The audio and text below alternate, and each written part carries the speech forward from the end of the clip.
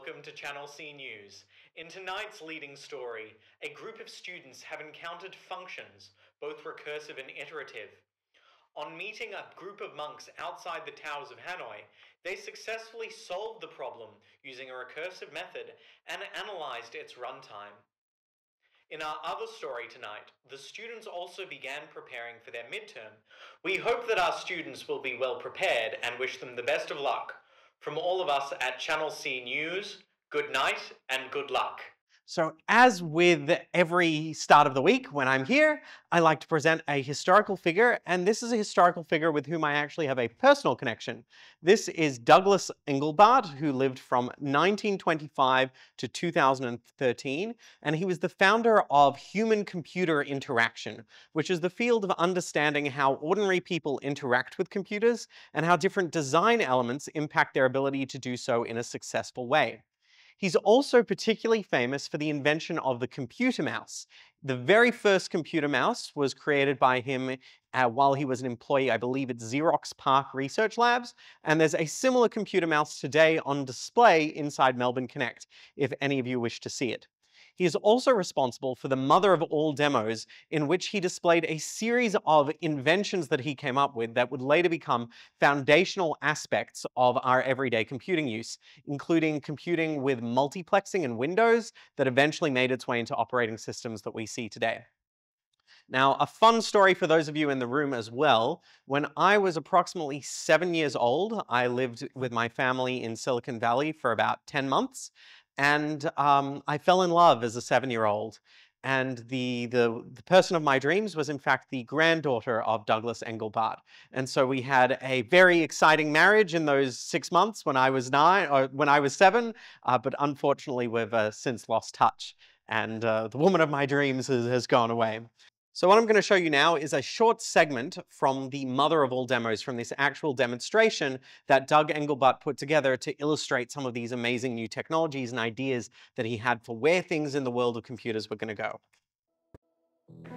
If in your office you as an intellectual worker were supplied with a computer display backed up by a computer that was alive for you all day and was instantly responsible, responsive, instantly responsive to every action you had, how much value could you derive from that?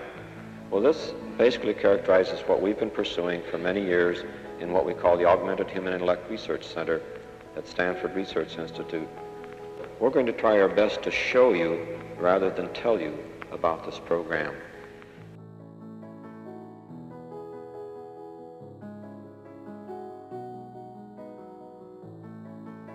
Okay, there's Don Andrews' hand in Menlo Park. And in a second, we'll see the screen that he's working and the way the tracking spot moves in conjunction with movements of that mouse. I don't know why we call it a mouse. Sometimes I apologize. It started that way, and we never did change it. This characterizes the way I could sit here and look at a completely blank piece of paper. That's the way I start many projects. So with my system, that's a good start. I'll sit here and say, I'd like to load that in. So I'm putting in an entity called a statement, and that's full of other entities called words.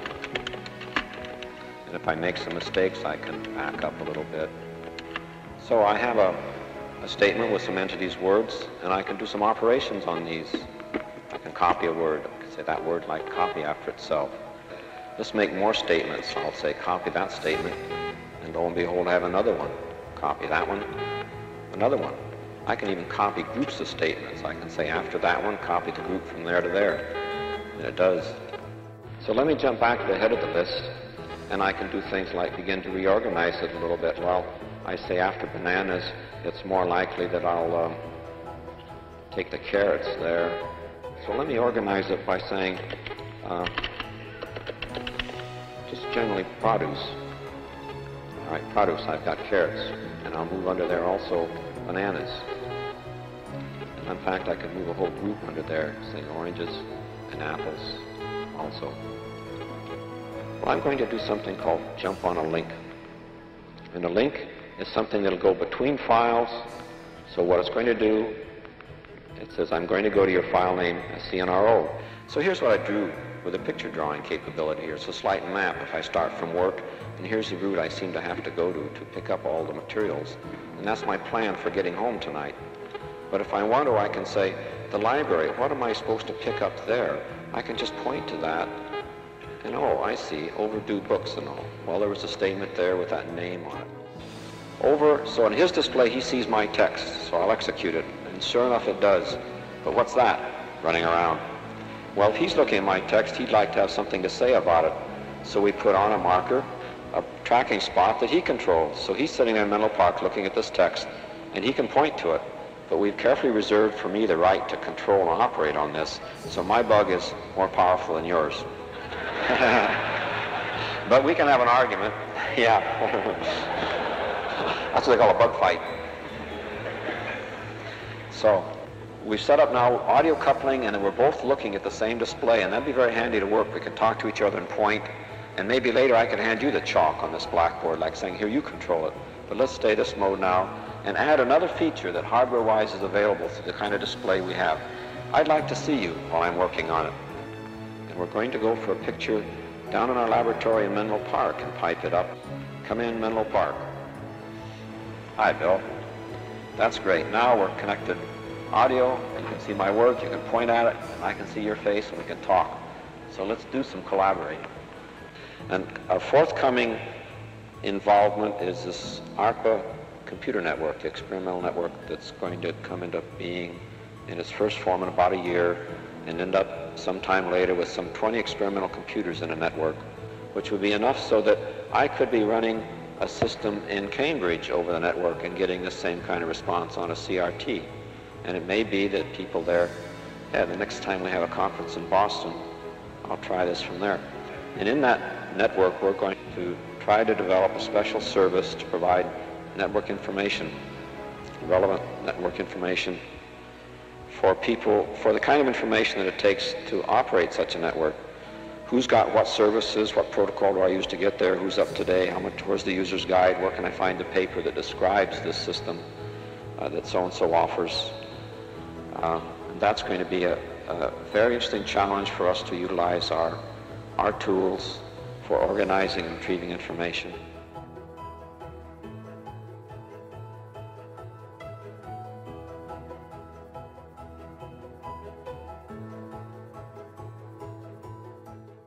So I'm not going to show you the entire demo, but you can see that many of the features that now we think of as like Google Docs or Microsoft Word, or even the way we navigate the computer were all originally envisioned by Doug Engelbart and his team at Stanford. So if any of you are interested perhaps in maybe not being a programmer one day, but in, be, in becoming someone who helps design technologies for people to interact with the machines, the field of human computing interaction is a really exciting and interesting way to go, particularly if you're interested in helping diverse sets of users. So this might be people with disabilities or the elderly or other people with special needs who have difficulties interacting with computers as they are, HCI, this field is dedicated to kind of helping those fields as well as helping all of us interact with computers in our everyday. So now I have a terrible dad joke to bring us back into the material. So why wasn't the string bean afraid of the daddy long legs? And I'll take any answers from the audience.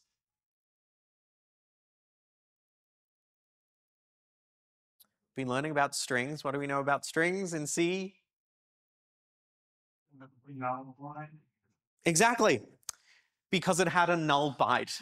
The spider was uh, not going to be able to do any damage. So that is probably my one and only bad dad joke for the whole semester. Um, so where we left off when I was away, we were talking about strings. And we talked about all these different functions that we could do with strings that were built into the C standard library, as well as some ways to implement them. Now we're going to jump right into code because I know all of you have been busy trying to get your, get your heads around strings. And so let's start with one called getWord.c. Now let me open that up here quickly.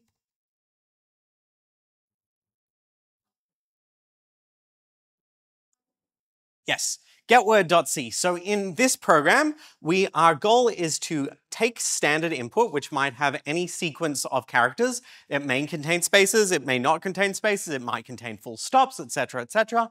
And what we want to do is we want to be able to take this stream of characters and actually extract a single word from it. So I'm going to go over this one fairly quickly because now all of you are already string experts from the hard work you've been doing. Um, and so hopefully this won't uh, puzzle you too much.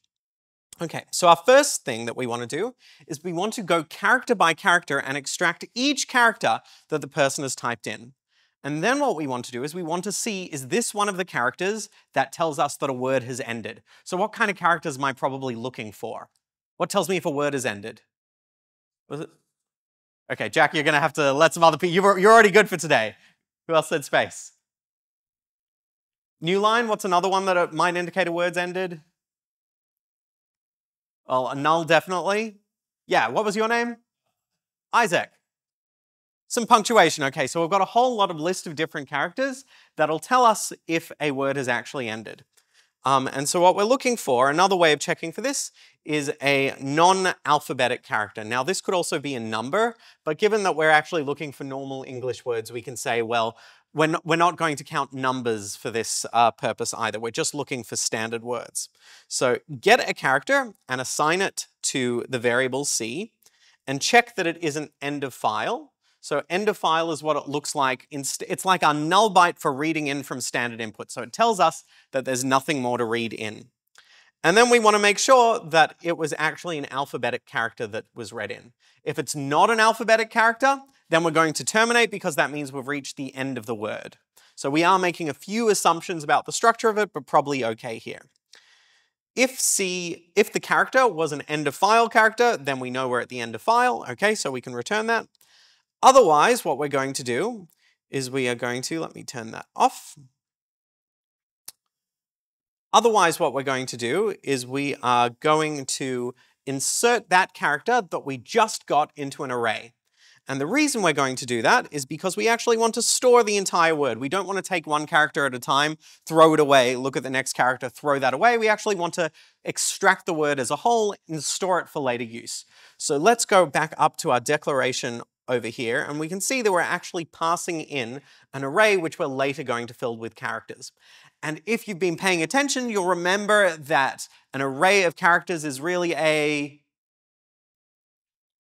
pointer, and it's also really A and C if it's terminated by, by a null byte. An array of characters is a an array of characters is a string. So what we're really doing is we're building up our string letter by letter. And so we have a length variable, which tells us where in the array we're up to. And slowly, character by character, we put our, um, we put our letters into our array. What else do we have to do at the end? Once we've read all the letters in, what do we have to do? Uh, Tristan, add a null byte. So that's what we've got down at the bottom there. We close off the string with our null byte. Great. Um, and this, again, is just doing the same thing. We're going through character by character, making sure that it's an alphabetic character and storing it into the string. Now, the reason we're doing this segment over here is we're just actually skipping over any non-alphabetic characters that are starting off in the input string. So if I type 345 space ABC, what it's going to do is it's going to skip that 345, skip that opening space, and just extract the ABC. So that's why we've actually repeated that loop in there.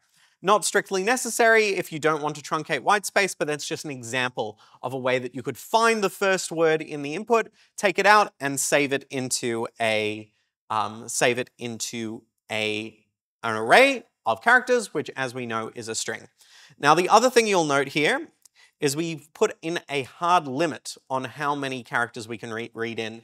Why might we have done this? Why might I have put in a limit? Now, who, who hasn't answered yet today? Okay. What was your name? Oh, uh, Kalen. Kalen, okay, take that. That's just going to be in the recording. Kalen, why might I have set a hard limit on the number of characters that I can fit in using this function? Yeah, so we don't overflow the array. And how do we know how much space the array has? With the limit. And how do we know what to set the limit to? Set it ourselves. Yeah, we set it ourselves. So let me go back up into the code a little bit first. Let's see. uh, where I have my, oh, there's no main function here. This is just an auxiliary function. Okay, so when I create, when I call getWord, I'm actually going to need to pass into getWord the size of the array that I've created for this, which is going to be the maximum size of our string. Now, do you have a question about this? No question at all? What happens if I have a big word, like a really big word? Make a bigger limit? Okay, do you think there's a better way that we could approach that? Okay, well, you, you, know, you know where I'm going with this, but we haven't quite reached malloc yet. But essentially, this is the problem, is that right now we have a hard cap on the size of the words or the size of the memory we can read in. And this probably isn't ideal for us long term. We're going to want some way of dealing with this so that if we get more letters than we initially set out, we can actually add more space for ourselves. And this is highlighting what we'll get to in the next two weeks. After we've dealt with a little more bit on strings, we're going to talk about how to deal with what happens when we need more memory than what's already available to us. Now, the one other basic string program that I want to show you today before we get on to the harder stuff is this program arguments one. Now we've already mentioned a little bit about program arguments, but finally we have all the tools we need to really understand them properly. So remember, I've got these two arguments to the main function that have been somewhat mysterious up till now. I did previously mention that argc is going to be the number of arguments to the main function, and argv is going to be what those arguments actually are. And let's take a close look at the declaration here. Can anyone parse that declaration for me? What's that actually saying? Over there. So eh, you could think of it as a two-dimensional array, but let's, let's start a little bit simpler. What is that? What was your name? Isaac. Okay, so what is this? What is it? I've taken away the star symbol. What is this now? An array. An array of what? And what's a character array normally? A string. Okay, and if I make a two-dimensional array of characters, what's that probably? Could be a sentence, but what, what does the declaration actually mean for us? If we say a one-dimensional array is of characters is really just a string, so it, it's an it's an array of strings, so it's really just a set of strings. And in C, we don't have this nice notion of sets, so we're going to use an array to store all of those. So let's go ahead and compile that. Um, if my computer decides to respond today. There we go.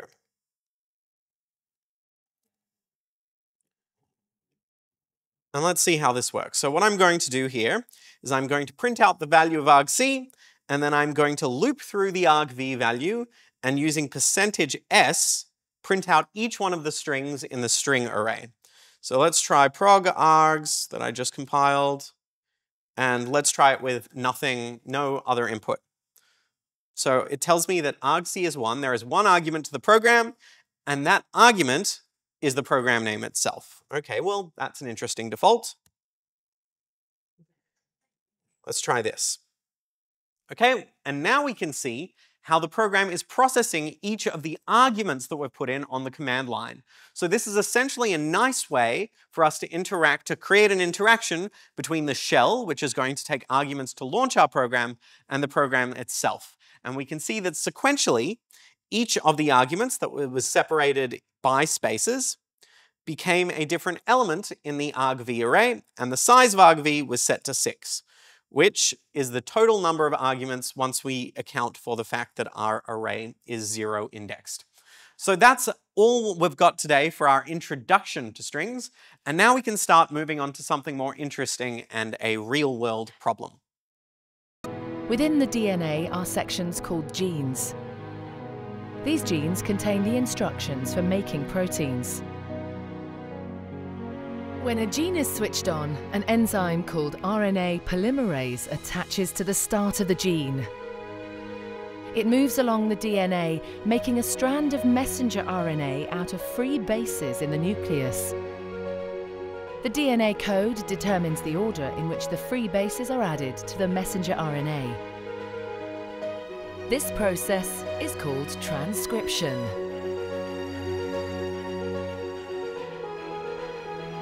Before the messenger RNA can be used as a template for the production of proteins, it needs to be processed.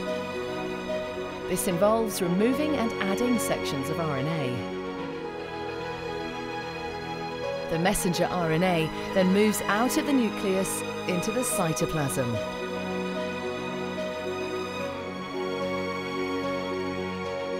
Protein factories in the cytoplasm, called ribosomes, bind to the messenger RNA. Okay, that is enough inspiring biology for you for today, and no, you haven't walked into the wrong class, but we're going to use this process of transcription as inspiration for our task today. So I want to introduce you to a mutation that many humans have called HFE hemochromatosis. And essentially what this mutation does is it causes an excess of iron deposits in organs, which is obvi obviously pretty bad. It can lead to cirrhosis um, and to a variety of different uh, syndromes, which ultimately can cause pretty serious injury to the human body. Now, it is possible if you know that someone has this mutation and you know that they're having their iron, these iron deposits accumulate, to intervene early if you detect it. And in fact, this impacts such a large number of people that it's been worthwhile to develop quite a sophisticated testing regime.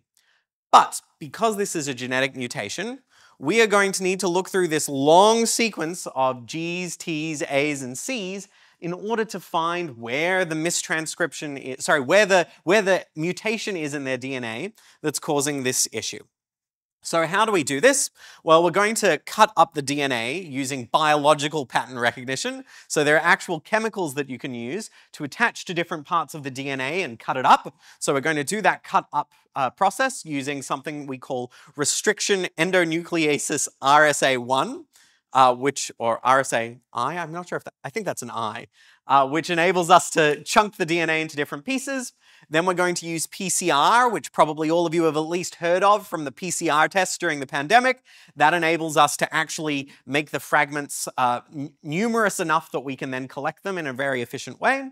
Read in the sequence into the computer, so we actually try and chemically analyze what the sequence is, and then we look for the mutation. So after all of that biology, we end up with something that looks like this, looking for the C28Y mutation. So at the top, you see human DNA without the mutation, and down below, you can see that that pink G has turned into an A. Now, all of that biology actually inspires us for a bit of computer science because the DNA is quite long and it's going to be very time consuming to look for this tiny change in that very large sequence. This gives us a problem. For a given sequence of characters, let's say we have n characters, and we have a pattern that we're looking for, in this case the mutation pattern, how do we find where in the DNA this pattern exists, if indeed it exists? So it would be very helpful for us to know where in the human DNA it appears, and if it does in fact appear in someone's individual genetic code. If it's not in their DNA, we want to return not found. So there are a lot of different ways that we could build up a solution to this overall problem and attempt to find this mutation in someone's DNA. So there are a couple of different intuitions, things that we know about the way that strings work that might help us at this point. So who can tell me something really obvious and really stupid about where the pattern might be uh, given a collection of letters that start at index zero and go all the way to n? And given that you're in my line of sight, Toby, can you pass that back? What was your name? Angela. Okay, tell me something really stupid and really obvious about the pattern. Sorry, could you repeat that? So we have a pattern that we're looking for, like some sequence of letters, and we have an initial string that ranges between indexes 0 to n minus 1.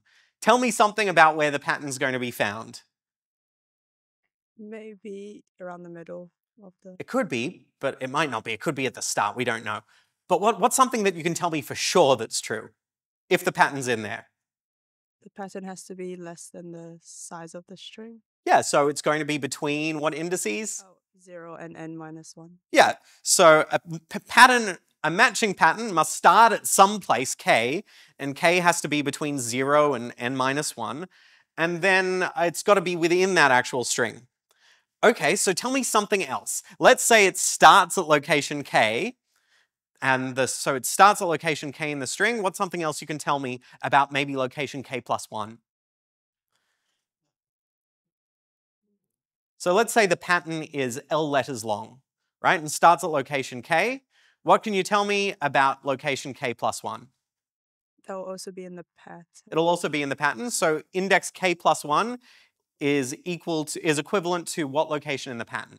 So if pattern 0 was at location k, then Uh, one position one of so yeah, k plus 1 is going to give us location in the pattern 1. And then location k plus 2 in the string is going to give us pattern 2. two.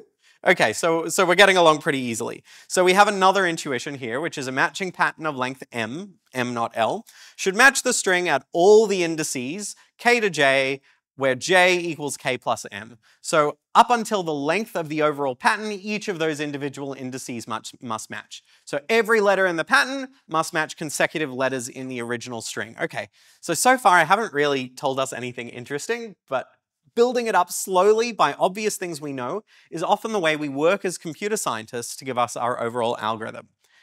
Okay, so here's, here's another question for you. Let's say there are two letters left in that we've looked through the entire string so far, and there are only two letters left, and our pattern is three letters long.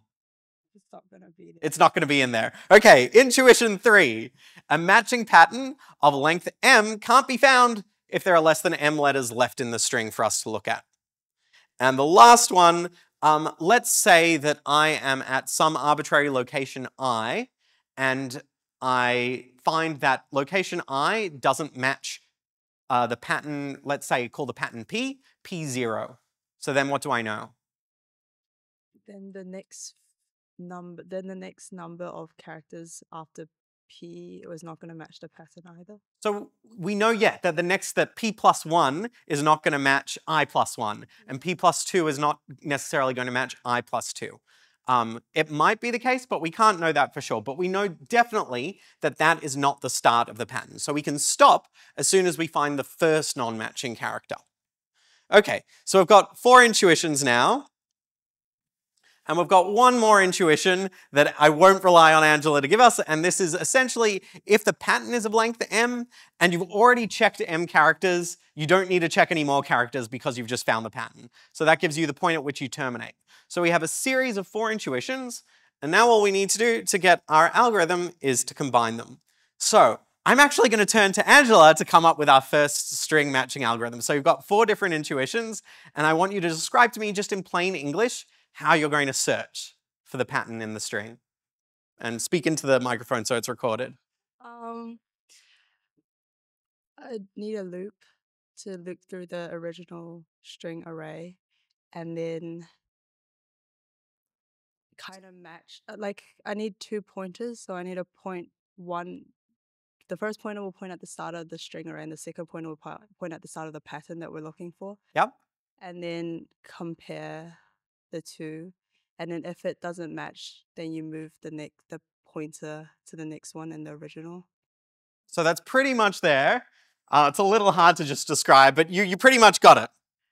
So putting our intuitions together, we're going to test each of the possible places in the string where it could, where the pattern could be for a match. And the way we do that is for each location, so let's say we're looking at location zero in the original string, we're going to check if the zeroth index of the string matches k matches p0, the first location in the pattern. And we keep doing this. Does k plus 1 match pattern 1? Does k plus 2 match pattern 2, etc., etc., until we find a mismatch. And as soon as we find a mismatch, what do we do? Break the loop. Yeah, we break, well, we, uh, we break the inner loop, so we don't need to keep looking through the rest of the locations in the pattern. And what do we do with our, location, with our search through the original string? You move to the next one. Yeah, move to the next possible starting place. So essentially what we're doing is we're testing each possible starting place one by one. And as soon as we figure out that that starting place is not a valid starting place for the overall pattern, then we move on to the next one. Okay, so what's the running time of your algorithm? Um, So let's break it down. How many possible starting places are there? in like the length of the first Remember, you had one intuition though that said it couldn't be all the way to the end. minus the length of the pattern. Yeah, so let's say n and m for the length of the pattern. So it's N minus m. n minus m, but m is small and n is big, so do we care about the m? No. Okay, so it's probably just n. So n possible starting places, give or take a hand wave. And how many checks do we have to do in worst case at every one of those locations? Every chick? Uh, Maybe every every in. Every, In. why would it be n? So for every location in the n, Yeah. how long's our pattern? In. So we only would have to look at most m letters, right? Or really m minus one in the worst case. Because if we've matched, if we've looked at all m, then we know we've actually found the correct one because we finish early. So we have n possible starting places and m minus one, which is really just kind of like m for each of those. So what's the overall running time? In. nm. Okay, so let's see n possible indices for where the pattern is located, m locations to check in the pattern for each index, and that gives us our overall running time of big O of nm. And this is what it looks like in kind of something that looks like C pseudocode. So for each possible location S, while S is less than n minus m, less than or equal to, go through each location in the pattern. If you find a mismatch, break. If you've actually checked all the locations, return the location you found, and otherwise just increment and go and check the next possible starting location for the pattern. So this gives us O of nm time, um, and that's the worst case. Now, do you think that's a good runtime? Not really. Not really, why? Because if m isn't that small, then it would be essentially like n squared time.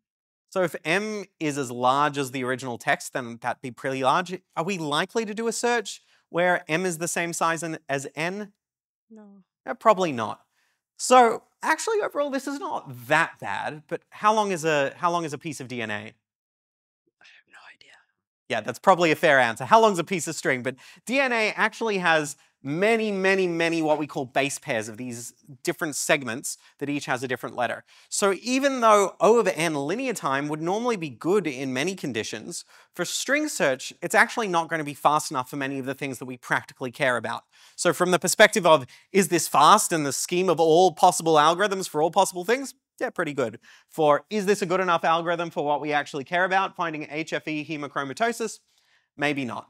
Okay, let's take another quick look at this algorithm before moving on and trying to improve it. And can we have a round of applause for Angela? Toby, do you want to get the microphone back? Did a good job on that one.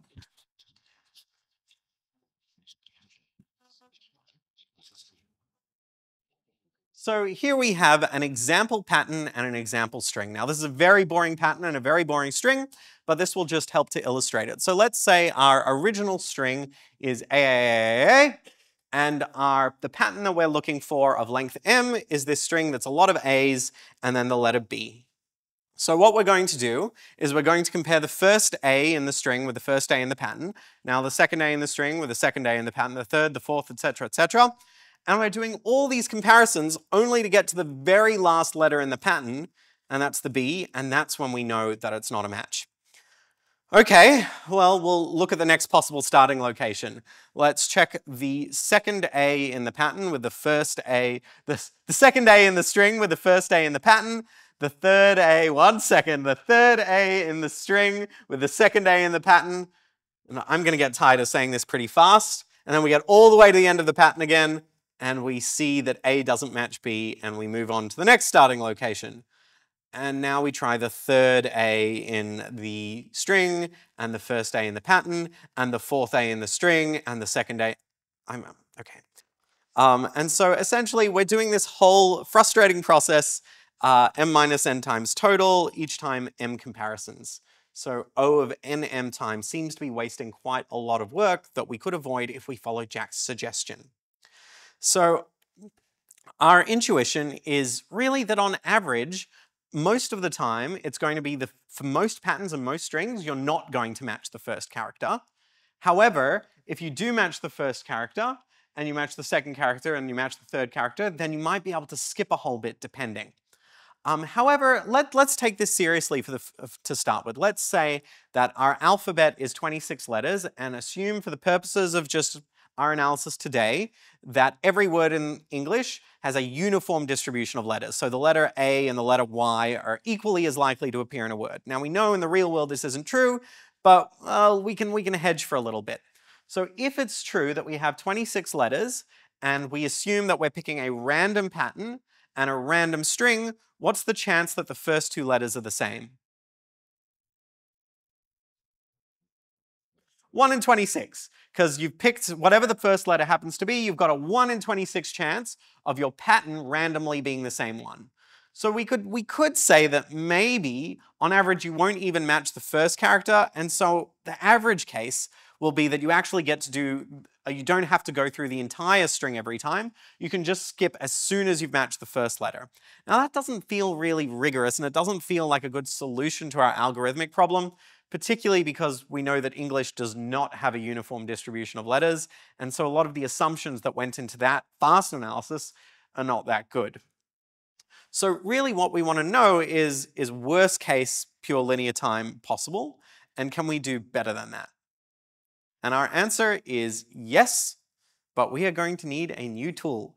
And this bit I'm particularly excited about because it's not normally taught to first year computer science students at the University of Melbourne, but I've been so impressed with all of you so far that we're going to do it anyway, and you'll now know ahead of time for when you get to third year if any of you choose to continue all the way through the major. To this is normally taught in models of computation. So that's the very like the capstone subject for theory of computer science. But don't worry, you're all smart, you'll, you'll be able to handle it. So this is what we call a finite state automata. And the basic idea here is that we're going to conceptualize these special sorts of machines, and we'll call these machines automata, and they're going to obey a set of rules. Now, these are conceptual machines. Now, you could probably build one of these mechanically in real life, but they're just going to be an analytical tool for us to uh, perform some analyses that will later make figuring out how to do that skipping that Jack was talking about much easier.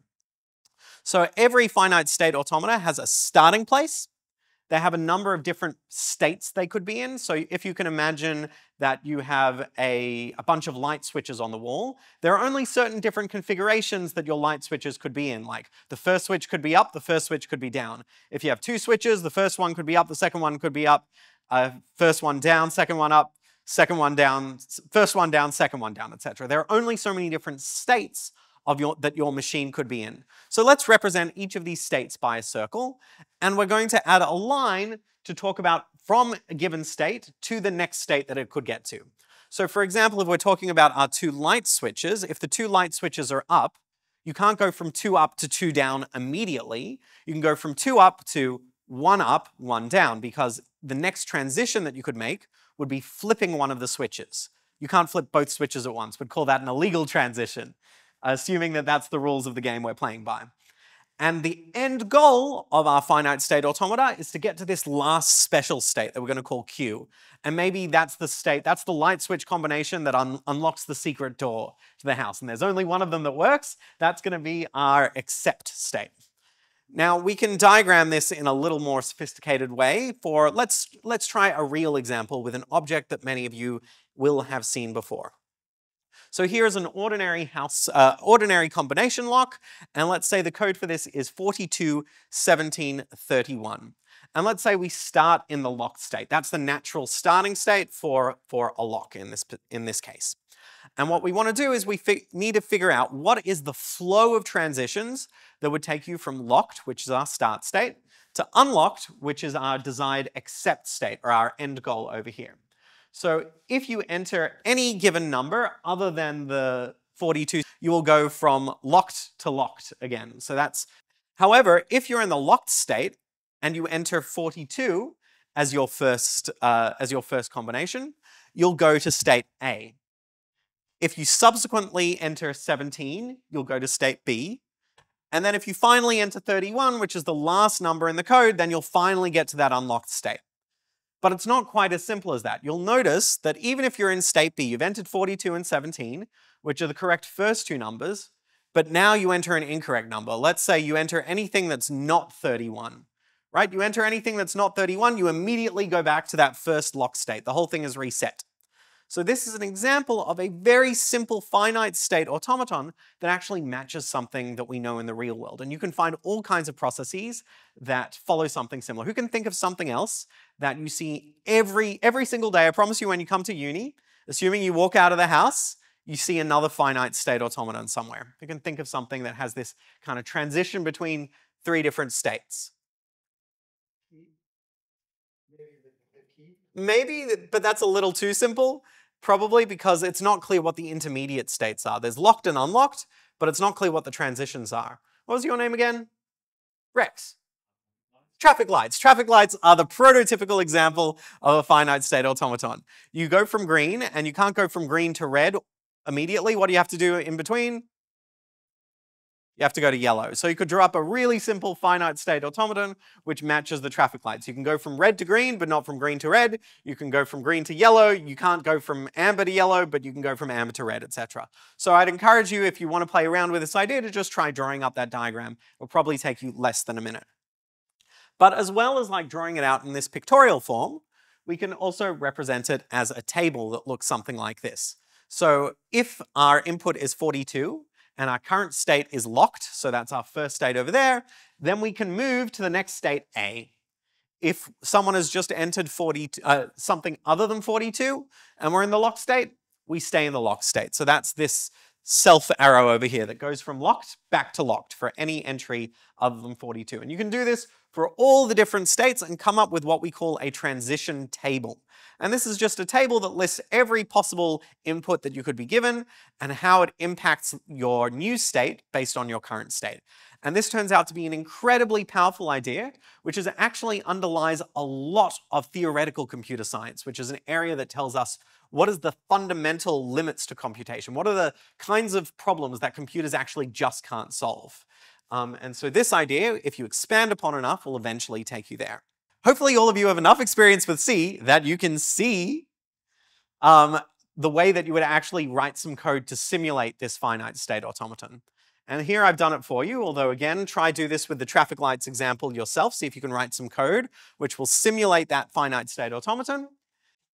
We have an array for our code at the end of the day, um, and we are going to say while i is less than 3 and there's input check that the input uh, is the code that we want to enter. If it is, move to the next state. And so we're going to use code to tell us uh, also what state we're in. And then if the input isn't the code, go back to the start. And so this is a very, very, very kind of pseudocode-ish, not quite in C simulation. But you, with the abilities you've already got with a little bit of tweaks to get input from the user and to print some output appropriately, could use this to simulate our lock here. Now, why are we doing all of this? Well, it turns out that Jack's pattern search algorithm, and in fact, a lot of our string pattern search algorithms, can be represented using finite state automaton. And it actually tells us something about the time that it would take to process a string based on the kind of finite state automaton that represents our pattern search algorithm. So some of you may have heard about regular expressions, or if you haven't now, you'll hear about later, but these two can also be represented using this same kind of technique and will allow us to actually bound the amount of time finitely that a given search could take, which will be very, very powerful. So oh, it's disconnected. There we go. So here is our linear pattern search represented as a finite state automaton for this particular pattern. Now we're not representing the algorithm generically, we're just representing the algorithm as applied to this particular pattern.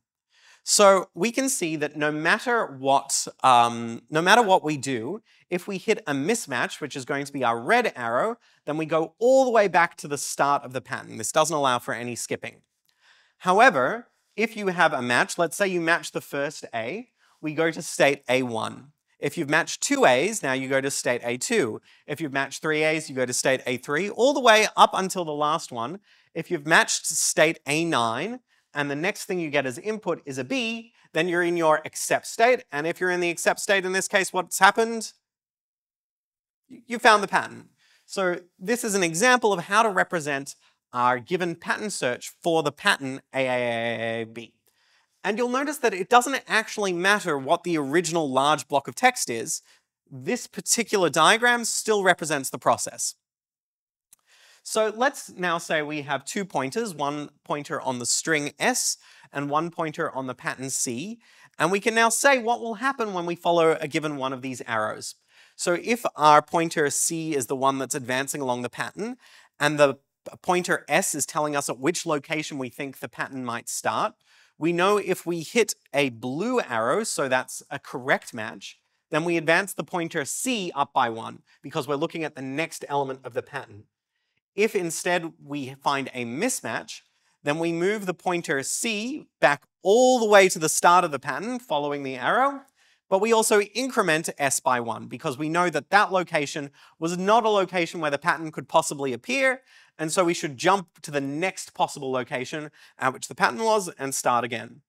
But as Jack will tell you, this is an awful lot of red arrows going all the way very, very back to the start. So let's see this in action and see how quickly we get bored.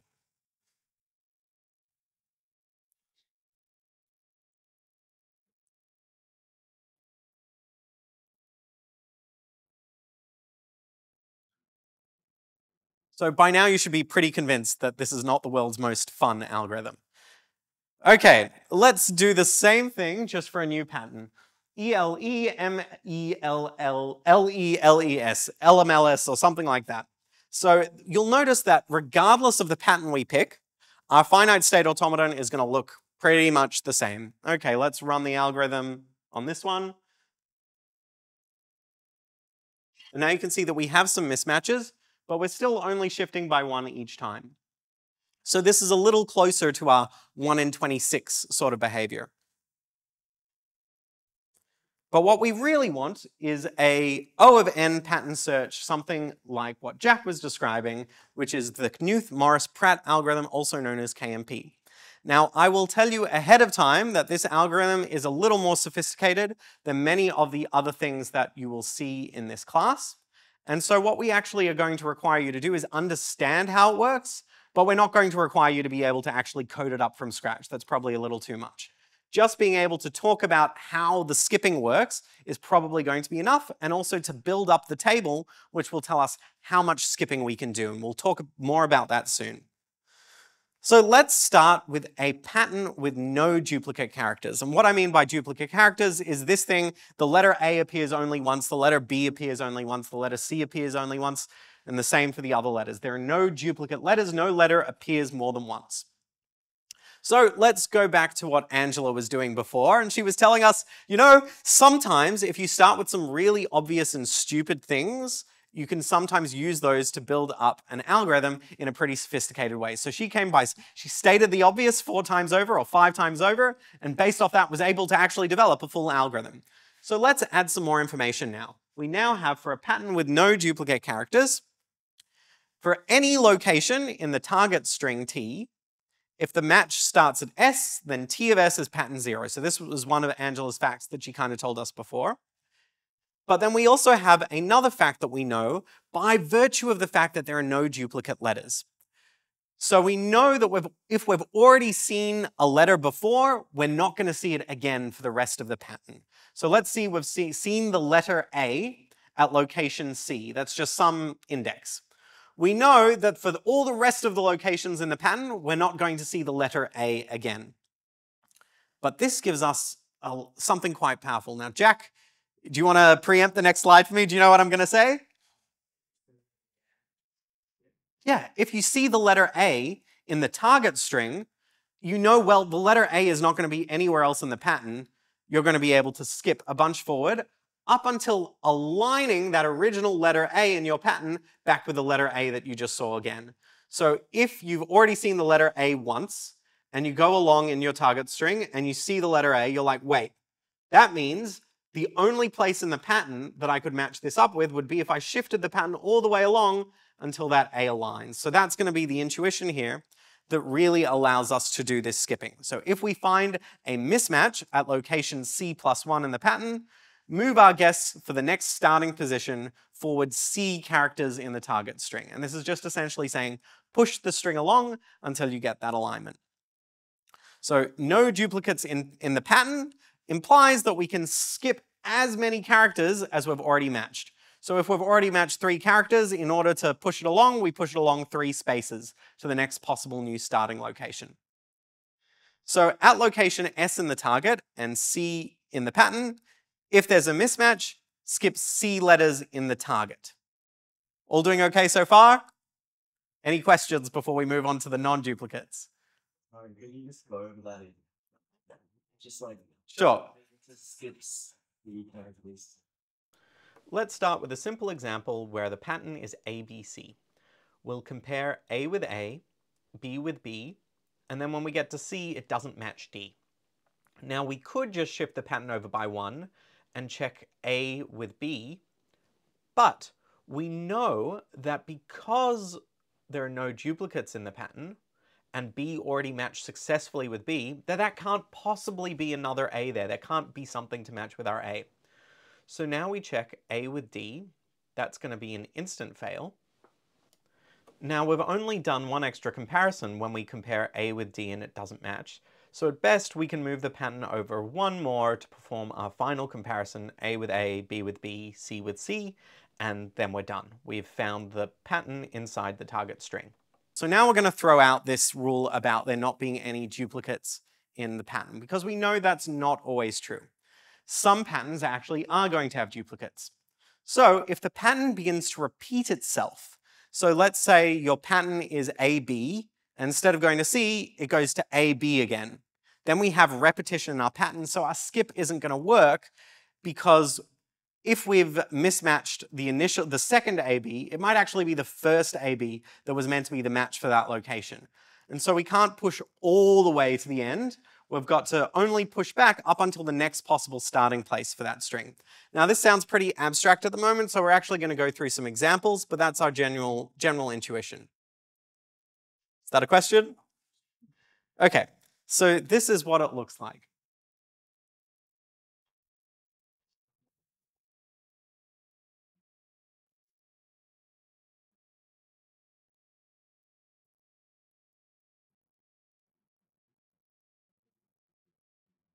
Now you've noticed something interesting here. We're not actually doing that much skipping. We're still only moving by one location each time. Now, can anyone explain this behavior? Yeah. Um, even though we know, like, uh, which, like, in the bottom, like the pattern, even though we know that it uh, doesn't match a specific letter based on like the duplicate thing, we don't know for certain, like the initial string, uh, that it doesn't match a certain point. So, like when we look at just AB, that AB could be the next one over. Um, we don't know for certain it's not the next one over, so it's impossible to skip. And what was your name? Uh, Thelfin. Zelfin. Oh, now I remember. Uh, so Zelfin's right. Essentially what's going on here is if we find that we, let me start, start playing again. There we go. Okay, so the question is, which is the starting location at which the correct pattern exists? So just because we've failed on that letter B for that very first A, it doesn't rule out the second A as having been the location at which the full pattern would start. You'll notice that the place where we've compared up to in the target string is still one letter short of where we actually needed to compare. So we can only skip one at a time. However, if the, there weren't repeats in our pattern, that would have allowed us to skip over more because we would have known, oh, because that second A didn't match, then we must have been able to push it over one more. So we'll see that in a little more detail in a second when we construct the finite state automaton that actually represents our different patterns. Thank you, Zelfin. Let's uh, pass the microphone back again. So here we have another example for a string that has fewer repeats in it. And let's run it again and see what happens.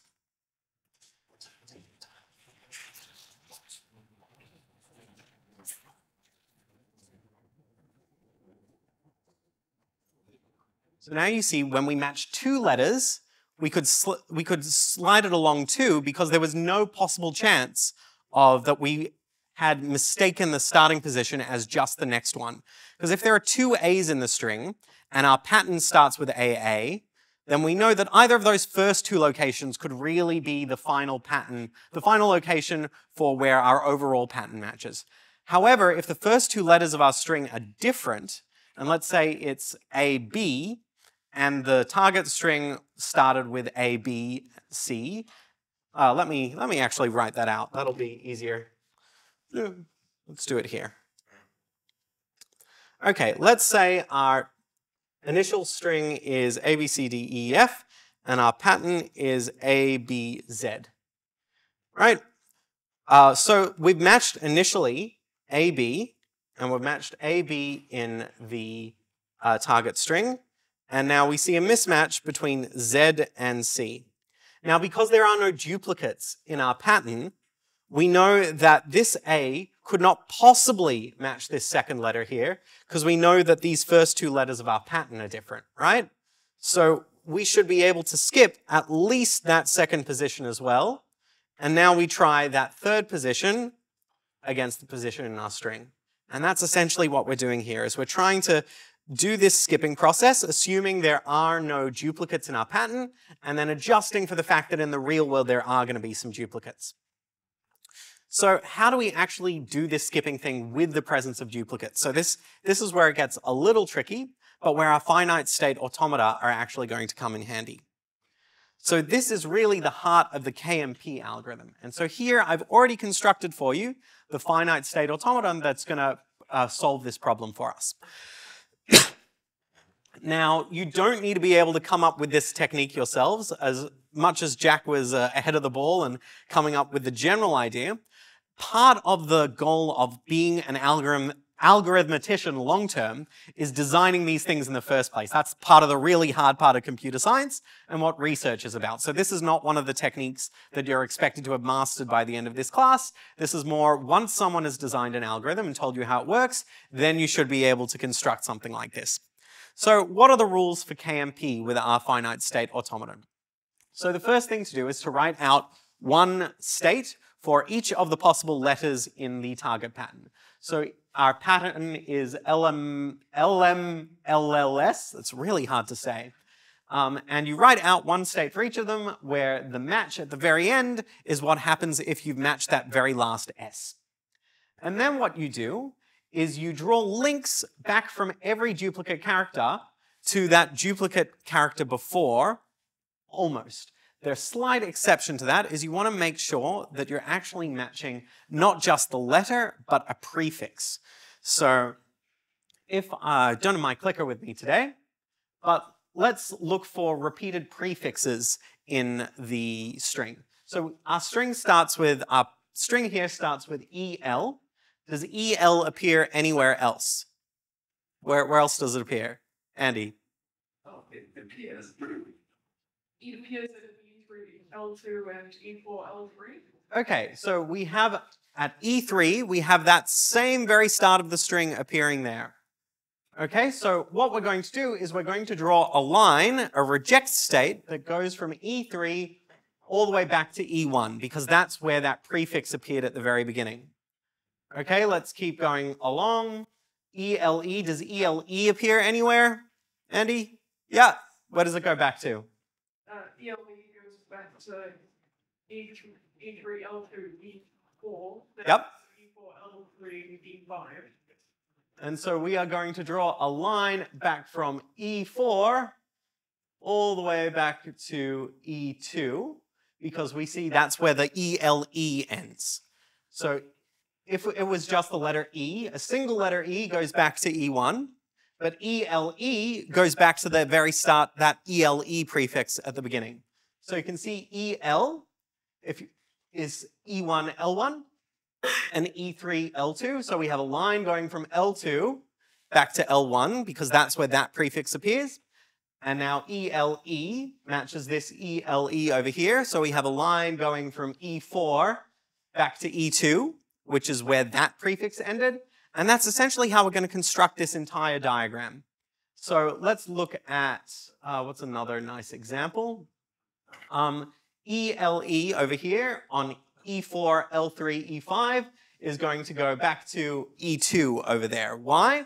Because we have ELE at the very start of our string, and then we have ELE, and the first time that that appears as a prefix is all the way back, so that draws the arrows. Now, this is a little hard to see, so what I'm going to do is I'm going to add colors to some of these lines just to make it easier for you.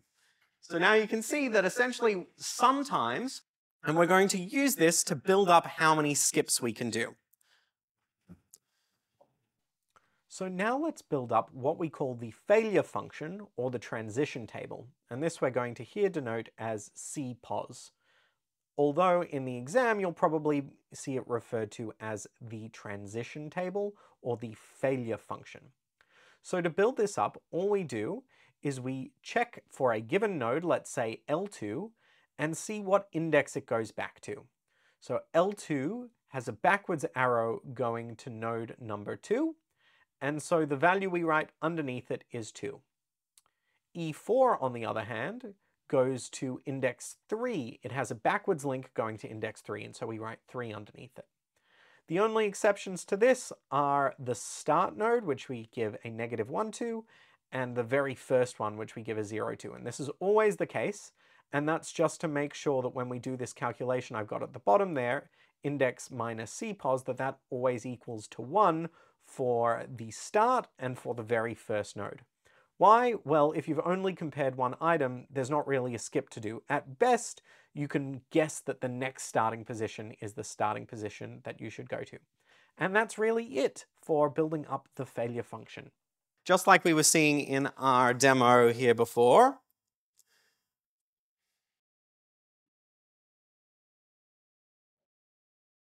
Well, that E could also match the E we just saw. So now we skip.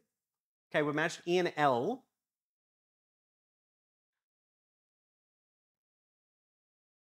Right, and it aligns the string to the next possible starting place for the pattern each time. So what we're going to do is we're going to write up this transition table, the number of hops that it takes us to get back to the very beginning. And then we're going to just encode that in C. We're going to write some code which simulates this finite state automaton, just like we did for the lock example. And so again, you don't actually need to be able to write this code yourself. It's more being able to understand this process and being able to generate this pattern and count the number of jumps for yourself. So how do we actually determine the skips based on the number of jumps? Well, there's a pretty simple formula. We take the index of the string, and the number of jumps, and we calculate the difference between the two. So this is actually why we've got this funny thing with the first, with the start, where we set it to negative one, and where we sometimes don't worry about the jump from E1 back to the very start. This is just to make our calculation over here for the total skip to work. So let's say our index is zero. That means if we haven't, if we start off right away and there's a mismatch, can we skip anything? No, we can't skip anything because we haven't actually compared anything. The best we can do is just move and check the next starting point. The same thing happens if we've looked at the very first letter and the very first letter hasn't matched. We can't skip anything. The best we can do is move to the very next starting place. Like if I compared E, if, I, if the pattern was E and the string was A and that didn't match, well, I can't move two forward because I've only compared one letter from each. The best thing I can do is compare the next starting point. And that finally gives you an, hopefully a more intuitive explanation of why we have negative 1 and 0 there in our CPOS thing, which we're going to call the failure function or the number of skips. And then when we actually determine the total number of skips that we can do, they're both going to translate to 1. And so the structure of making that, of setting that to negative 1 and 0 right off the bat without actually worrying about the number of skips and setting negative, setting negative 1 doesn't necessarily make intuitive sense. The reason we're doing that is so that we get this result here at the bottom when we do this calculation. So negative 1 is a value that we've picked especially such that when we do this calculation of index minus cpos, that it still gives us a skip of just move 1 forward. Now if we do that for something like e5 at the end, we can see that the index was 9. There are three possible other starting places, and so that gives us a maximum skip of 6. And so we can at most move six along, even though we've compared nine characters, we can't jump nine along because we have to be able to check if our alignment was in fact that other starting location. So as I might have mentioned a second ago, the C-pos array, this one over here, we're also going to call the failure function. Yes, Jack? Um, the CPOS array unique to the pattern? Yes. So this finite state automaton, remember this is based on me counting up all the different places where that prefix appeared previously and drawing a line between them. So for any given pattern, that's going to look different. Like if I do it for, um, where's my other string? If I do it for AAAB, we're not going to get very far because we're going to have all these links going all the way back, which means that as much as the diagram will look a bit different, it's going to result in a failure function or an array that tells us we can't actually do very much skipping because always we can only really skip one forward because uh, our string has so many duplicates. And so every starting position is really another possible matching point for the string. And so we'll end up, uh, I would encourage you to actually, actually do that as an exercise. Draw out the finite state automata, automaton for this pattern and see that the KMP algorithm is actually not going to give you a benefit at that point. KMP gives you a benefit when our string is as close as possible to a random sequence of letters, all of which are different and there are no duplicates. And that's because at each point in time, we're going to be able to skip the full amount. Okay, questions at this point? Yeah, Finn. Um, is the program we're about to look at going to like have those values as constants, or is it going to figure those out and like figure out this graph? So for a given pattern, that's a really great question. Finn asked, is the program we're going to write do this calculation each time, or is it going to figure kind of figure them out once and then leave it at that? Was that more or less the question? Yes, like if you wanted to change it to look for a different pattern, it will automatically change the steps accordingly. Yeah, so the code that we write should be able to handle that. But you're kind of pointing to something really interesting. Something that we're actually going to want to do in a practical sense in many different places is search for the same pattern, but in lots of different strings. So let's say I'm doing an HFE hemochromatosis uh, search, but it's not just for me because that's expensive to do it just for one person. I want to do it for 100 people and run all those samples at once. And so I write the program that will spend time constructing the finite state automaton for the pattern, for the mutation pattern, and it'll make it really efficient when we then search for everyone's DNA. So we do the hard work of constructing this table once, and then it makes our search every time efficient. We'll see, we'll talk about the search in a minute. Because right now we've only figured out this failure function. We actually haven't written all the code for, for doing the matching in the larger strings. But then let's say we want to search for a different mutation. Well, we'd have to reconstruct this table. And so our code should be structured such that um, it doesn't just simulate this one, but it can generate this pattern of links for any given arbitrary, um, for any given arbitrary pattern. Um, but we've seen the technique to do that. Essentially, the technique to do that is to look for a prefix that matches a suffix. So we're looking for something at the end of the string that matches something at the beginning. So for example, ELE over at the end matches ELE here at the beginning. But it wouldn't matter if this like, if that random E and L over there match that L and E at the very end. What we're looking for is things that match the start of the string because that's going to indicate the possible starting places for our pattern. So another way of talking about KMP, it's the longest prefix suffix algorithm. It's an algorithm that looks for the longest prefix that matches a suffix as well. And so a suffix is starting from the end of the string and a prefix is starting from the beginning of the string. So we can see that, for example, the suffix ELE matches the prefix of our string ELE. Can we go ELEM? No, we can't because the pattern ends at that point. Uh, and because uh, the pattern is, sorry, the pattern is ELES, and ELES does not match ELEM. So that's not a longer matching prefix. Instead, our longest matching prefix uh, that matches, our longest matching prefix that matches a suffix is uh, ELE over here that matches ELE over there. And so we draw a line that ties the two together. Yes, no, confusion face? Yeah. So like the ELE at the, end, it's there's still an S after it. Is it could, could there be like a longer a longer suffix which is more towards the middle of the word that matches? So but then it wouldn't be a prefix. No, as in like say say you've got like a prefix and then there was something like in the middle of the word that matched the prefix. Would that work as well? Yeah, if there's something if so here's another example. The E and L over here are kind of in the middle of the word, and they match the E and the L at the very beginning. And so there's a suffix over there. It's not a suffix of the entire pattern, but it's a suffix of a part of the pattern. And that's what we're looking for. We're not looking for a suffix of necessarily the entire thing. We're looking for a suffix taking the pattern up to a given point.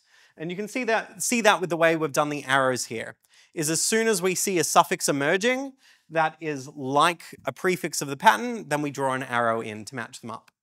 Okay, uh, Jack, you had a question. At what point um, are we calling things prefixes and suffixes? A prefix is the start, anything from the start of the entire pattern up to some index i. A suffix is, let's say we have chosen to look at the pattern from 0 to q. A suffix is anything from k to q, where k is some other location. Yeah, for the suffix, it's, it's more arbitrary. You can end the suffix at any point in the pattern, but the prefix always has to start right at the beginning. Any more questions?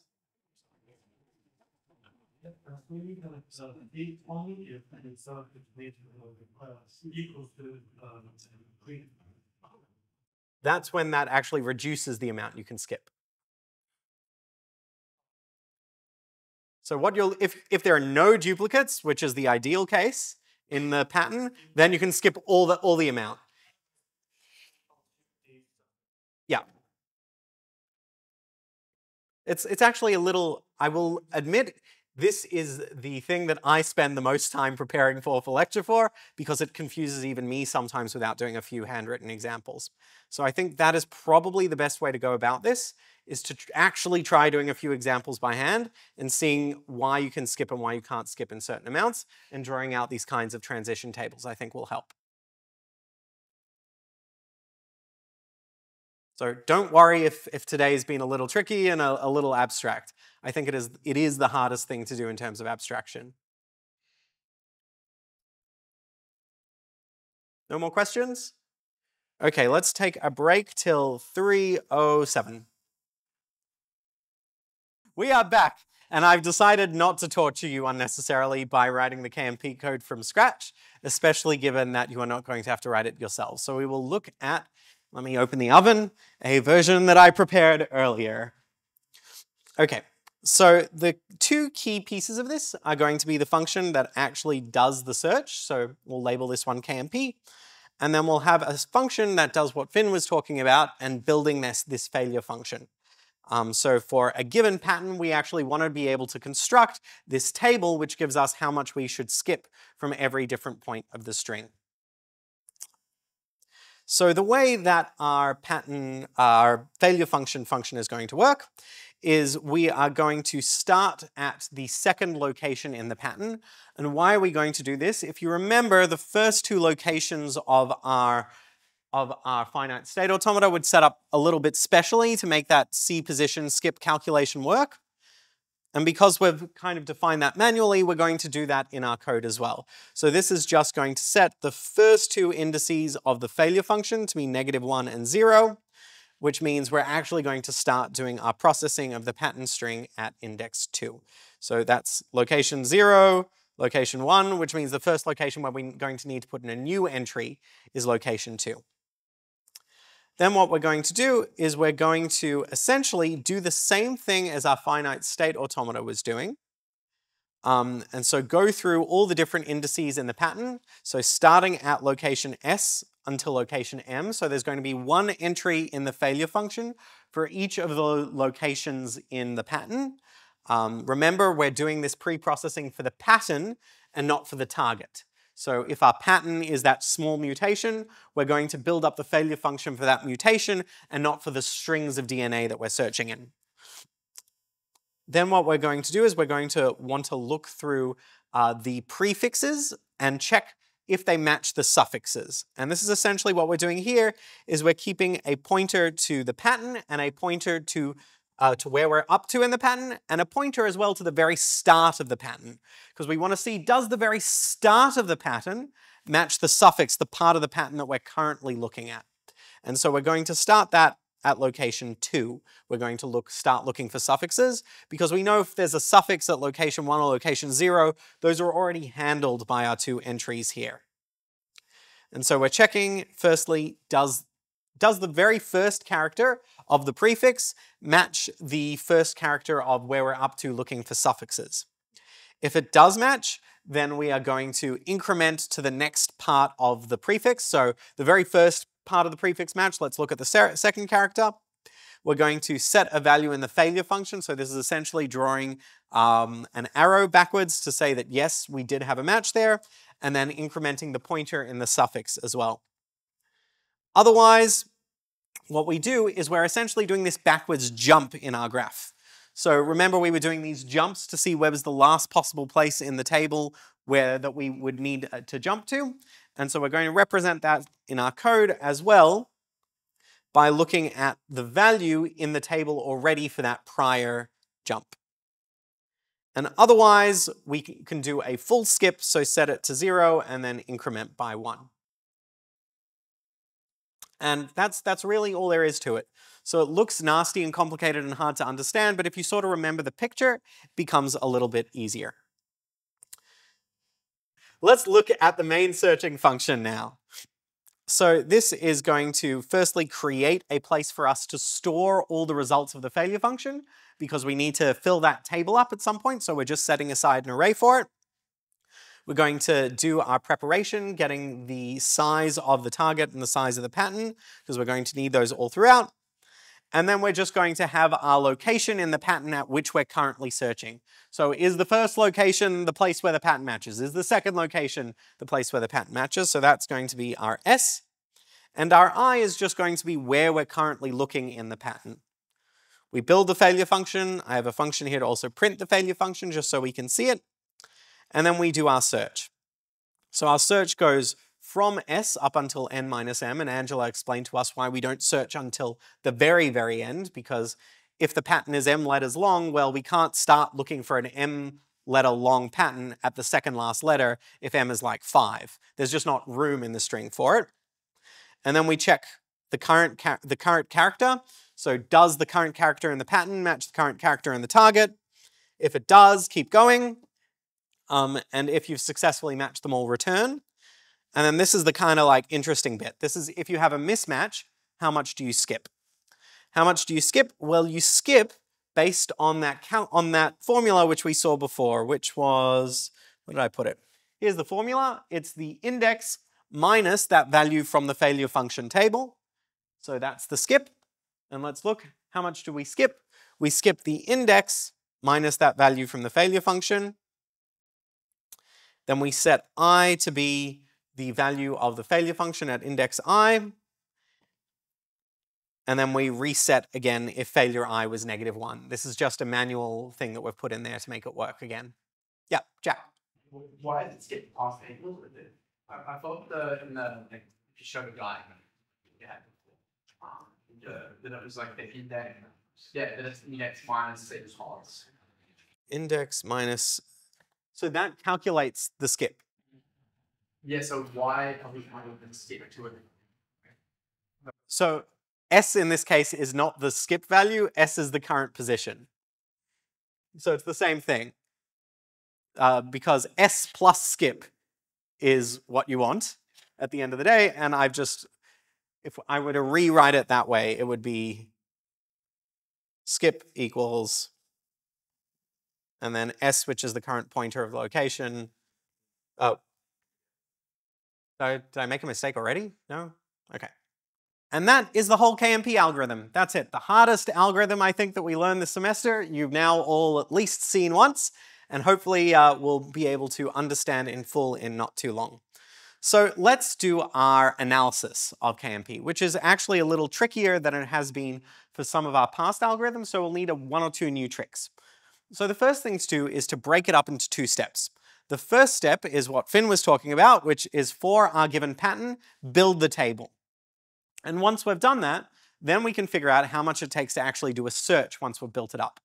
Now remember, the very powerful thing here is we do this pre-processing step, this building the table, only once, no matter how many times we want to search. So if we're searching a thousand times, we're really not going to care very much as long as the pre-processing step is relatively small. So if the pre-processing step is nothing too crazy, then we'll benefit by doing that additional work ahead of time, saving that bit of extra memory for our failure function table, and then reusing it every time we want to do the search. So here's the analysis for it. There are a maximum of n minus m possible starting positions. Um, so that's all the different places that our variable s can go to. There are a maximum of n minus m possible starting positions where we could find our pattern. At each location, we're going to have to do at least one comparison because we have to check at least that very first letter in the target string for the place we're up to in the pattern. If we weren't doing a comparison, then we'd, we'd already be done. So we have to do at least one. Um, and then we're also going to do a comparison for each position that we've gone forward in our pattern. So aside from the first one, assuming that we now do like another three checks, we're going to have to include each one of those as a comparison. But this gives us like a big question of like, how many of those do we have to do for each position in the string? How much, how much skip are we, skipping are we doing is really going to be the big question here. But we know that for every skip that we do backwards, there has to be, we have to have moved forwards that much. So we can really pair them together. If we're trying to count the forwards, we can just count how much we've gone backwards. If we want to count how much we've gone backwards, we can also count how much we've gone forwards. And we're going to use this in just a second. So how many backtracks did C do over the course of our whole algorithm? So for each backtrack of C, we must have moved forward that amount in the first place.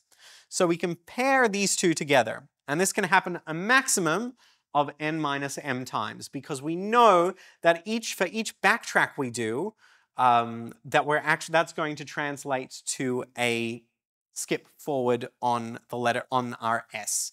So we know that in either case, no matter what happens, we're going to be moving on at least one. And if we move on at least one in our main thing, that can happen a maximum of n minus m times. So let's add together all of these different movements.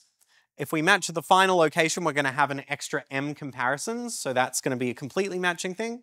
So we have 2n plus m. So we have the 2 for the s comparisons as well as the, uh, the we have the 2 that accounts for all the times that s will have moved forward as well as for all the times that c have moved forward. Because we know that every character is going to be examined, each position in the target string is going to really be examined at most once. Okay, what about our pre-processing step? So that gives us our search step. What about the pre-processing pre -processing step where we actually built up the table? So we have m possible indices that we need to fill up and how much work do we do for each index? Um, we're only going to do an extra comparison if we mismatch and there's a place to go back other than the very, very beginning. So that's essentially saying there are two possible instances. Either our transition table is built up by going all drawing an arrow all the way back to the very start, or in some instances, there'll be a place where we go back in the middle. So that seems obvious. Um, but if we're going back somewhere in the middle, that means there at least have to have been at least one prior match, because we can't go back to somewhere in the middle if there hasn't been a match to that point already. So for each time we do this backtrack thing, we must have gone forward at least once as well.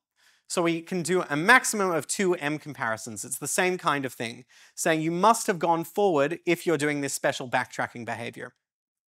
So this gives us a total runtime of 2n plus m plus 2m for the overall algorithm, which is big O of n. So we've achieved our goal. So what about improving on KMP? KMP works really well when we want to search for the same thing over and over and over and over in different blocks of text. But we have other use cases. So here's one. We want to build a search engine that scans over every book in the Baillieu library. And we want to try and do that in, let's say, O of n time. So these are some facts I got from the Baillieu library website. There are 78 kilometers of shelved material on 101 kilometers of shelving at a utilization rate of 77%. Okay, why do I care about that? Well, that's going to allow us to do some calculations about how much text, how many words there are in the Baillieu library. So there are about 10 to the 12 letters in the Baillieu library. You can uh, share that figure with your non-computer science friends sometime. I think that's a fun number. Um, and if you were to do that, if we were to do our calculation on a normal computer, remember my computer does about um, 10 to the 10 operations per second. So that gives us about 10 seconds for each search, assuming that we have some optimizations in there. So this is going to take up an entire computer's processing power just to do one search in 10 seconds. Is this accurate? How long does it take you to search for a book on the Baillieu catalog? Half a second? That's a, that's a pretty big number. I'd say probably a couple milliseconds is how long it's taking. So O of n is not actually fast enough for this use case. We're going to need a better algorithm. So what is our number one technique for better algorithms when we are trying to process large amounts of data? What kind of thing can we generally do? Pre-processing. Toby's got it right. So we do a space-time trade-off. Let's sacrifice uh, some space on our computer's memory and some pre-processing to later allow us to do things efficiently based on information that we already know. So here I have another live example for today because it's been quite a long, tiring day. It was, was it, what was your name? Perrin? No? Over there in the corner, green shirt. Yeah. Sebastian. Okay, Sebastian, come to the front.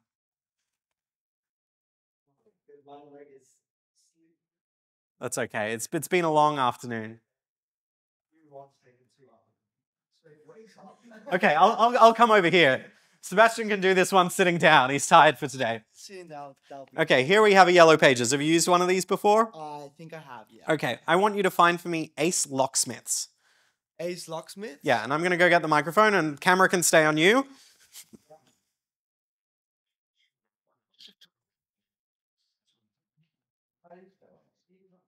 It starts with an A.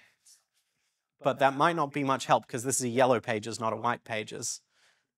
Uh, I see. So what are you what are you discovering in here? I What- don't know, it's a bit weird.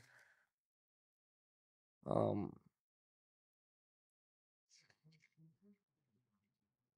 Yeah, I could. Well, it's, it is sorted, isn't it? It's sorted, but what's it sorted by? It's sorted by.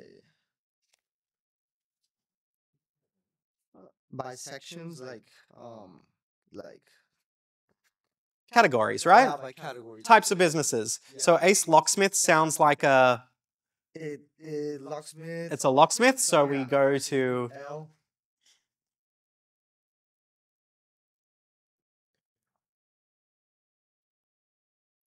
Alright, here we are. Locksmiths. Locks and locksmiths, yeah. Ace locksmiths, got it. Okay, we got it. So this was a little different from. uh, Actually, let's have a round of applause for Sebastian. You can kick one leg up in the air to. Um, so this was a bit different from our like kind of binary search thing that we did with just any old name, because this time we had an index at the very start. So we actually all, all of the businesses were sorted according to some other scheme, which made lookup pretty efficient. Now, of course, we could do binary search on the categories, and then using the categories, then we could go and find the particular locksmith we were looking for. But that was actually pretty fast. And so that gives us a technique that we can probably use in the computer as well, which is to index data, which is store it according to some kind of keyword. So in this case, we were storing it according to the category of business that was for, or some other kind of shortened listing that isn't the full set of names. So dividing things up in some kind of clever way, and then doing it from that. So for the yellow pages, this was quickly find a category in the list of categories.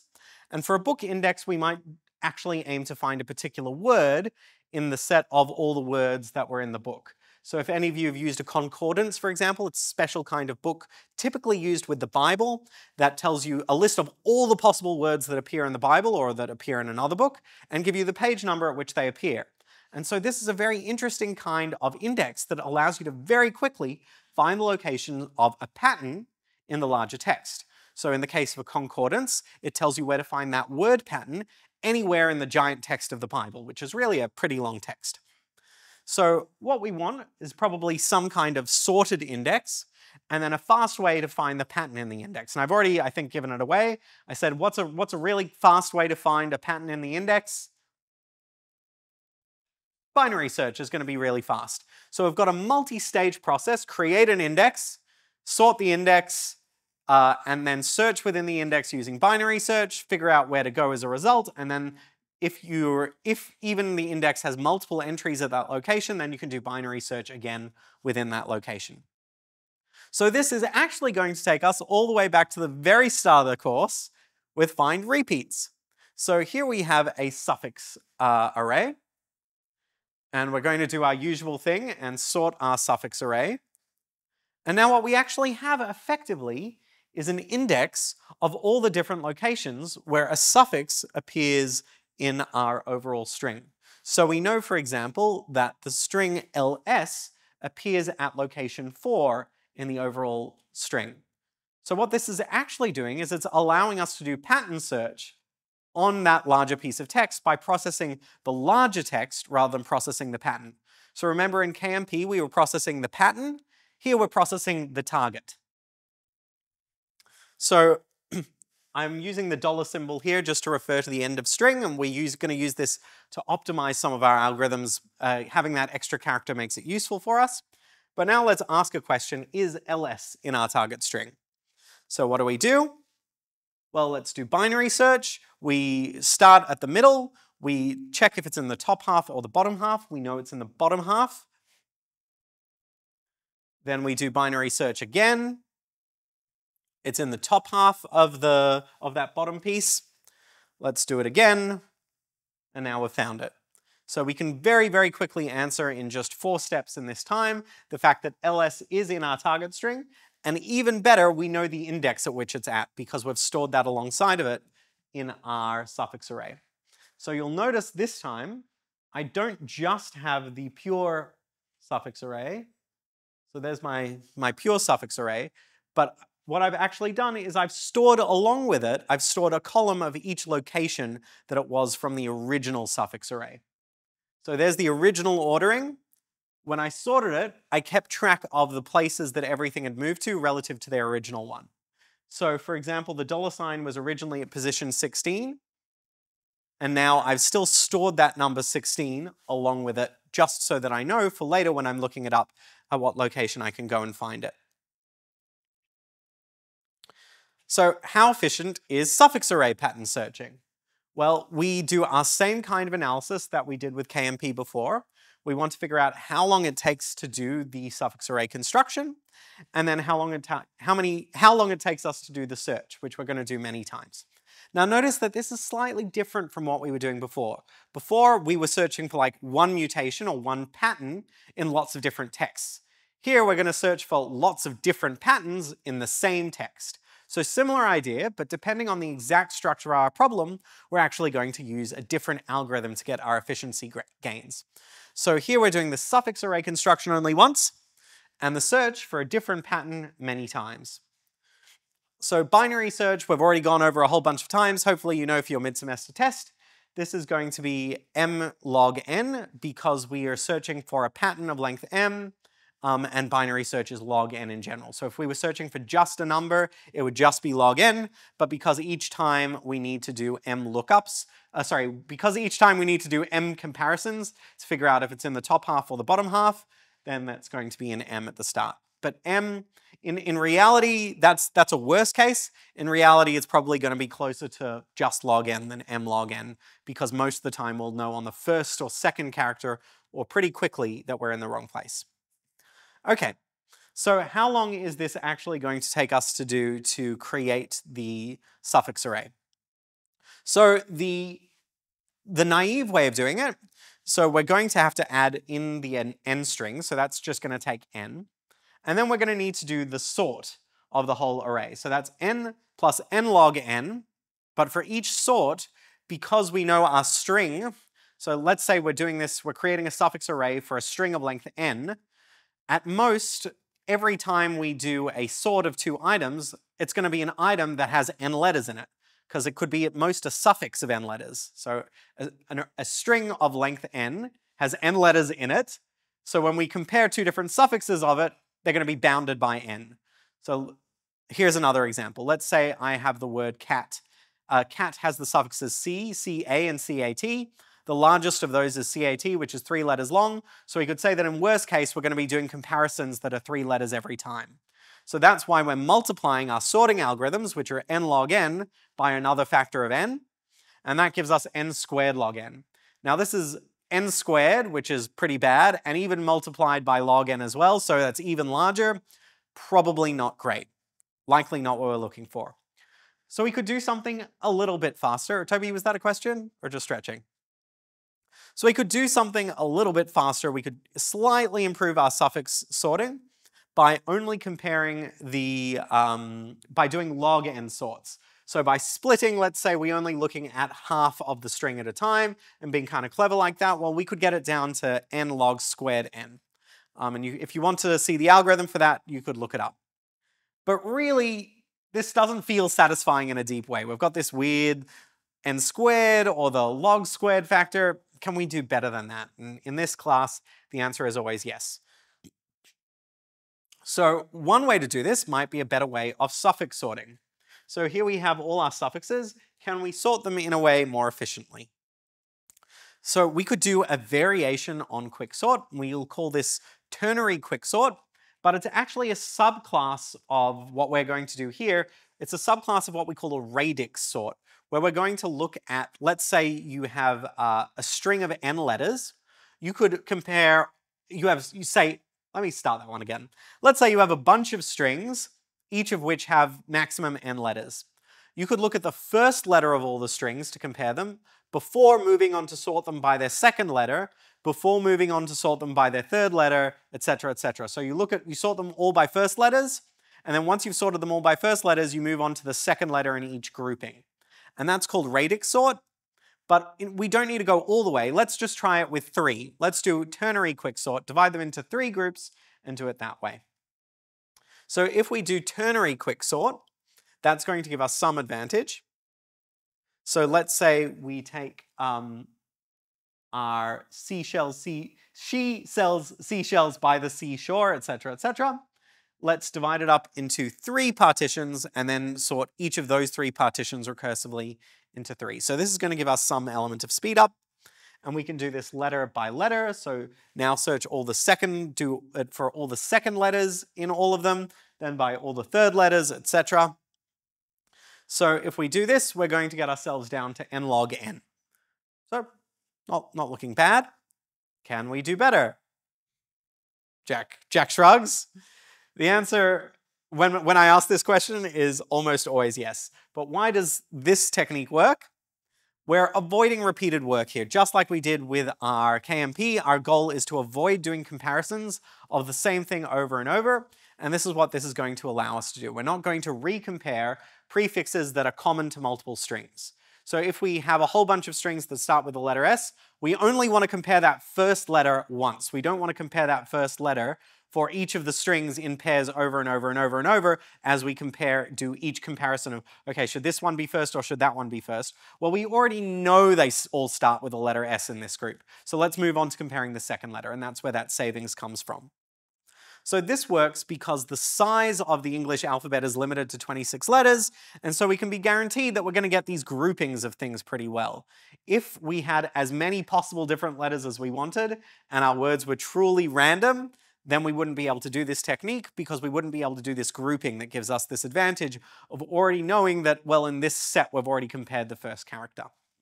So as we said, we, we can do better, and we'll call this one method X. Fancy construction algorithms. So we can get this all the way down to O of n, and this was a line of research for a very long time, including by people at the University of Melbourne. So you can see Professor Andrew Turpin, who was a very senior academic at the university here up until he left about a year ago. Um, and as late as 2016, there was still pretty active work on suffix array construction. Here's another example of people, someone that whose name you might have heard of working on suffix arrays. Um, and we can see the name highlighted in there, Alistair Moffat, who of course is the author of our textbook. So what about more recently? Well, this is 2016, the optimal in-place suffix sorting, so we've gotten pretty good at it.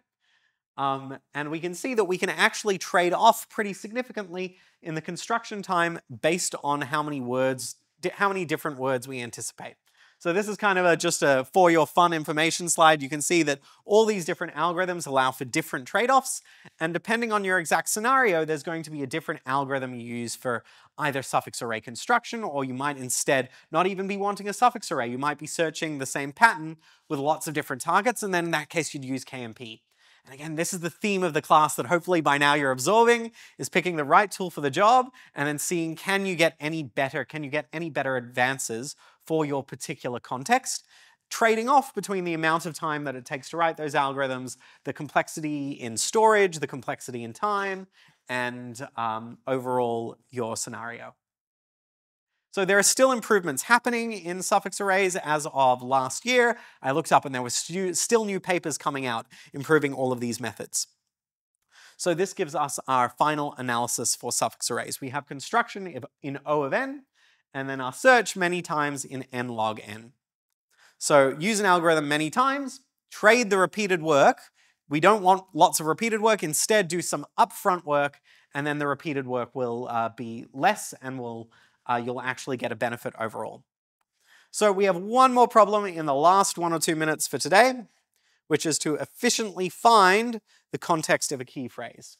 So let's, oh, I don't, that's not a video, which is where in a website does a given set of words appear? And we've already talked about the tool with which to do this. Which of the tools that we've talked about today could be used to find text in a web page really efficiently?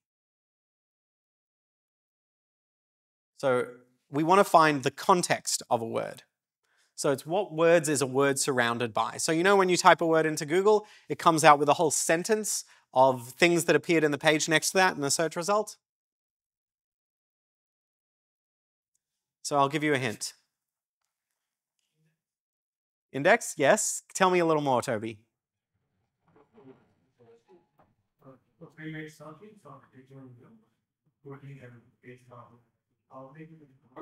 Yeah, so you could use a suffix array like this in what we call an inverted index, where you have all the different suffixes and you search through the suffixes, and then you can look through the location and use that location to figure out what's on either side of them.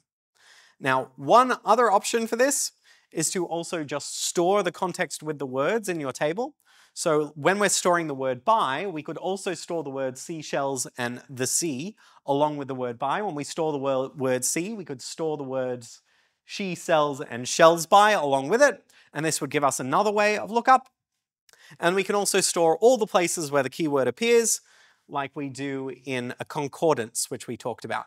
So this is actually a picture from uh, the Encyclopedia Britannica, which will tell you all the different places where something occurs. And so uh, that is more or less our results from string searching. We can actually search strings in linear time, which is pretty amazing, despite the fact that it seems initially that we'll have all these other factors, as long as we have structure to leverage. So as long as we know something about the number of possible letters or the number of possible words, or if we're going to be, which thing we're going to be repeating, we can actually do our job much more efficiently. And the great news is, in the real world, there is lots of structure. So our overall picture the big takeaway from today is that we want to leverage the structure that exists in the world so that we can create the right data structures and the right algorithms to solve our problems. Thank you very much, everyone, and good luck for tomorrow's test.